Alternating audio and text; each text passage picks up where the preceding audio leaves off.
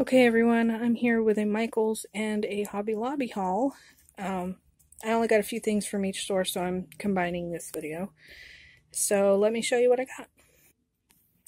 So from Michaels, yes, from Michaels, I got their little Craft Smart. Um, this was a $2 buy. It's a stamp set with a matching die. And it was the cactuses. They had a lot more, and I really wanted them, but I was like, well, let me see how these work first. and then they also had this um, cactus embossing folder, and it comes with a stamp too. So this was also the $2 bin. And then I got some a refill for my tape gun. And uh, I was able to use a coupon for this one, so that was nice. I think I paid like $3 for this, and it's took like a 40% off coupon or something like that.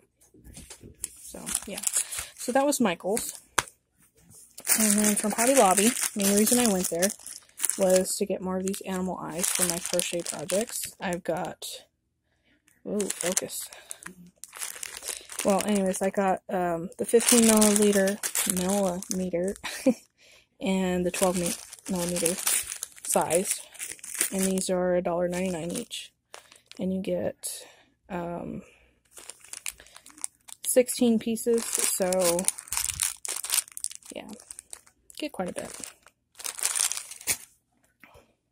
My phone's not focusing. And all of Hobby Lobby's paper was also 50% off, so I just went through. I don't really need any more paper packs because I don't have room for them. So I just went through and picked out a few that I thought I could use for these cards. I went ahead and got this cactus print to go with the stamps I just got. Some mermaid paper. And I have a lighthouse stamp I really wanted to use and make cards with. So I wanted to do some like backdrops that was like nautical theme. So I had went and got some um, crabs.